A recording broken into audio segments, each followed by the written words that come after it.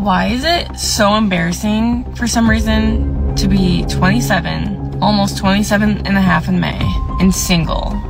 Like, single as all heck. Nothing in my life has gone the way that I thought it would, which is fine. I really never thought I would be this single at 27 when all I am or all I want is at least a relationship, a partner, a best friend, someone to live a life with, build a life with, get married, have kids, the whole shit. Boring!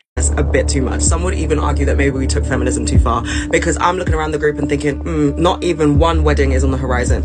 Not even that it's not on the horizon. We are actually so single that we are at the point where I wouldn't even go into a shop and pick up an expensive dress and think, mm, I'll save this for a wedding. Like, I cannot think of a single one of my friends who is nearing marriage.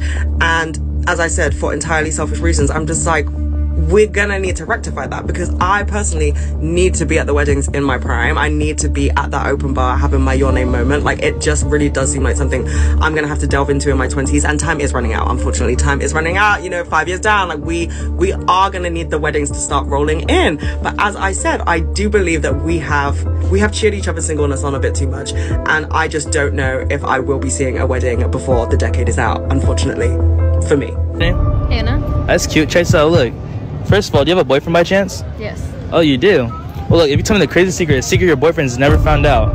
And if I find it crazy, I'll give you one, two, three, four, five, six. I'll give you $100 in cash right now if I find it crazy. If not, I'm walking off and I'm posting your secret. You in or you out? I'm in.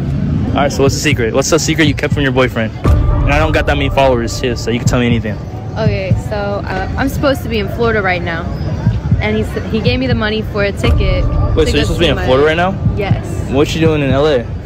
I'm meeting up with the guy that I met off of uh, Bumble. And you have a boyfriend?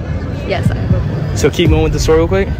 So I told him that my grandmother was sick and in the hospital and I was just like acting really sad over the phone, crying, and he was like, he felt really bad. So I got the money from him, and it's an evil world we live in. She belongs to the streets.